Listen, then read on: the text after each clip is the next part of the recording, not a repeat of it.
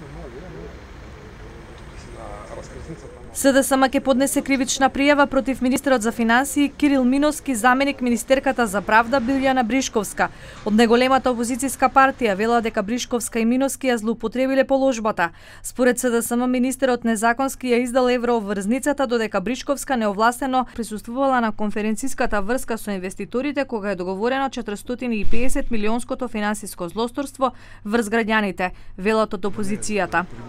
Миновски ја издал евроврзницата против законски спротивно на член 18 став 6 од Законот за јавен долг. Бришковска неовластено присуствувала на конференциската врска со инвеститорите кога е договорено 450 милионското финансиско злосторство врз граѓаните. Ова вчера лично го призна министрот за правда Валде Џафери. Миновски и Бришковска ја злоупотребиле службената должност, незаконски ги задолжија граѓаните на Република Македонија и ќе мора да понесат одговорност. Министерот за правда Валде Джафери за ТВ21 рече дека не добиле ниту едно барање за мислење од страна на Министерството за финансии пред да биде издадена евроврзницата. Според него никој друг освен тој како министер не е овластен да подпишува такви документи. До сега од Министерството за финансии не добивме никакво официјално барање за ние како Министерство за правда да дадеме правно мислење во врска со евроврзницата. Во Министерството за правда има прв човек и секој документ со ваква одговорност се подпишува од министерот и никој друг не е овластен да се подпише на вакви документи. Без дозвола на министерот не може да се направи било каков чекор. Од Министерството за финансии вела дека евроврзницата е издадена согласно законите и дека СДСМ продолжува со низините неосновани тврдења и клевети.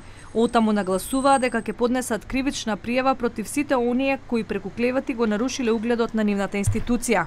Министерот за финансии Кирил Миновски исто така рече дека евроврзницата е целосно законска и дека преку неја државниот јавен буџет ќе останат на умерено ниво.